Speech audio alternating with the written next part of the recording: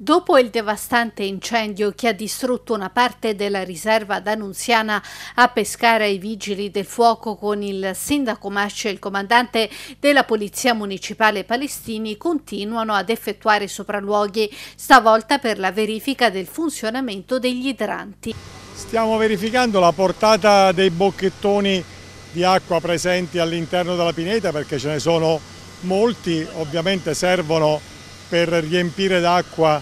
eh, i mezzi dei vigili del fuoco, stanno verificando rispetto alla portata e alla potenza del getto in quanto tempo si riempie il mezzo, parliamo di qualche minuto perché eh, qui abbiamo un getto di 800, 1200, 2400 litri al minuto, quindi in eh, tre minuti si svuota eh, un mezzo di 8000 litri.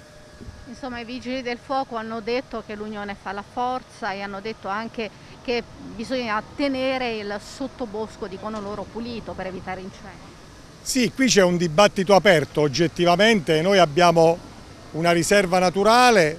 eh, ci sono zone a riserva integrale, questa del comparto 5 che purtroppo è andata quasi distrutta, è una riserva integrale dove da circa 30 anni non si entra perché ci sono dei limiti nel momento in cui eh, bisogna fare in modo che la natura faccia il suo percorso. Con i vigili del fuoco e con gli esperti ragioneremo su come bisogna tenere una riserva naturale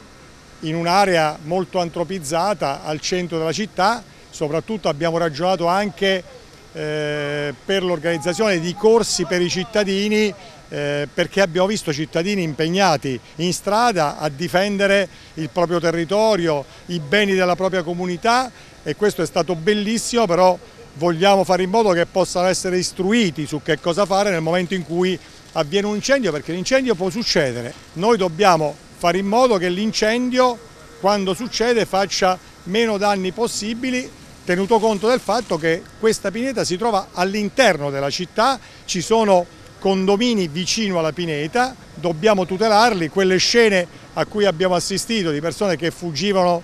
dai condomini, noi siamo andati a suonare ai campanelli per far uscire le persone da casa, non vogliamo più vederle, ciascuno deve